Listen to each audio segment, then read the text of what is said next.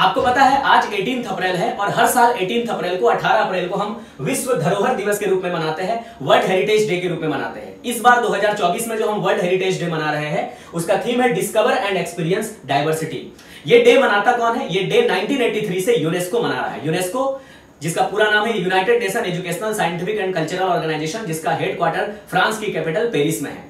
ये जो world heritage site है इसको मनाने का उद्देश्य है कि भारत में और दुनिया भर में जितने भी सांस्कृतिक धरोहर स्थल है, जैसे ताजमहल हो गया इंडिया गेट हो गया, लाल किला हो गया आगरा फोर्ट हो गया, इन सभी सांस्कृतिक धरोहर के संरक्षण के लिए और उनको बढ़ावा देने के लिए, उनके महत्व के बारे में लोगों को बताने के लिए हर साल विश्व धरोहर दिवस के रूप में हम मनाते हैं।